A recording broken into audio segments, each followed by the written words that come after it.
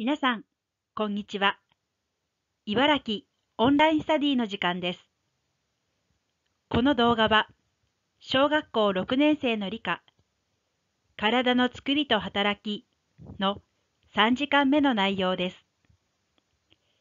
教科書とノートを準備しましょう。それでは、学習を始めていきましょう。前回の復習です。前回は体に取り入れた空気がどこに行くのかを調べました。その結果、人は肺で酸素を取り入れて二酸化炭素を出していることが分かりました。酸素を体に入れ、二酸化炭素を出すことを呼吸と言います。では、取り入れた酸素は肺からどこに行くのでしょう？今回は肺からどこに行くのかを調べてみましょう。今回の学習問題の確認です。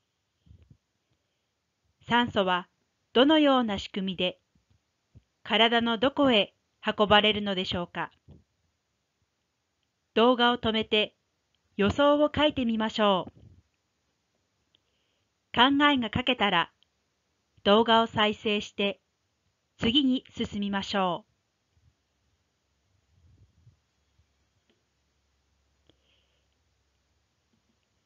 う。酸素は血液の流れに沿って全身に運ばれていくという予想や心臓との関係について予想を書いた人もいるかもしれませんね。それでは、どのような実験をしていくか、計画を立てていきましょう。血液が運ぶものや、心臓の働きについて調べていきましょう。ここで、心臓の働きについての語句の確認です。心臓の動きを拍動と言い、それによって起こる血管の動きを脈拍と言います。拍動も脈拍も心臓の動きによって起こるものです。まずは図鑑やパソコンなどで血液が運んでいるものについて調べてみましょう。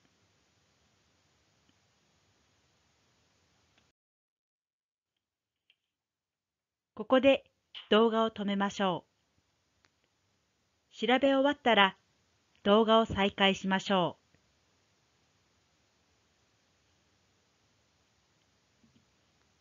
血液は酸素や食べ物から養分や水を取り出して運んでいることがわかりましたね。今回は酸素が体の中を運ばれる仕組みをいろいろな方法で調べてみましょう。実験について説明します。まず胸に聴診器を当てて1分間の拍動を調べます。次に手首や首筋などを指で押さえて1分間の脈拍数を調べます。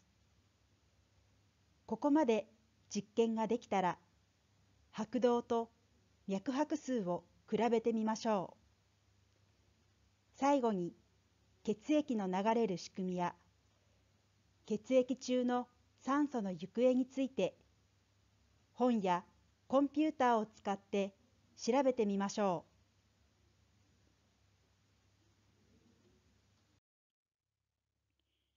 ここで動画を止めましょう。調べ学習が終わったら、また再生しましょう。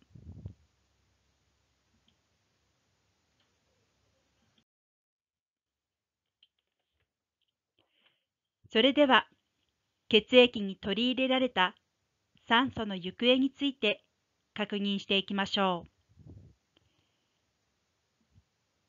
血液は心臓の拍動によって全身の血管を流れていきます。血管は体の隅々に網の目のように張り巡らされ、血液を全身に運んでいます。肺で血液に取り入れられた酸素は全身に運ばれていきます。酸素が多い血液が流れている血管と二酸化炭素が多い血液が流れている血管があります。また、血液の流れには、心臓から肺を通って戻る流れと、心臓から全身を回って戻る流れがあります。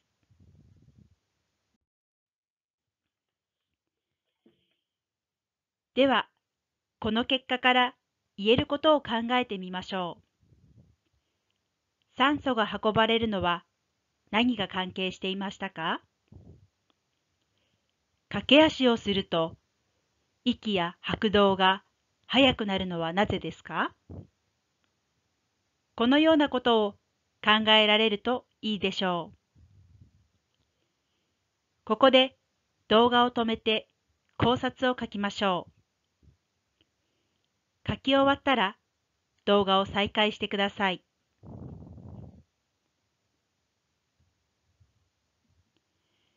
心臓は酸素が運ばれていることに関係していること。走ると体がいつもより多くの酸素を必要とし、酸素をたくさん運ぶことなどに注意して書くことができましたか？